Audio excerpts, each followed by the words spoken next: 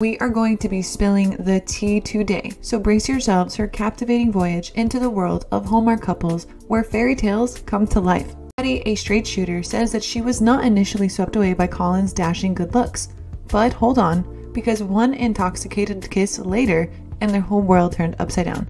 Patty is known to be a huge fan of the show, even dishing out her thoughts on previous seasons in her blog. Let's now talk about the most amazing couple, Marco Grazzini and Alvina August. Alvina and Marco have both established themselves as well-known characters on the Hallmark Channel, enthralling viewers with their charm and brilliance. Talking about their relationship timeline, then the news of their relationship broke loose in November 2020 when McGarry decided to make it Instagram official. In the Hallmark Channel movie Feeling Butterflies, the charismatic couple brought their on screen romance to life as Emily, the proprietor of a butterfly farm,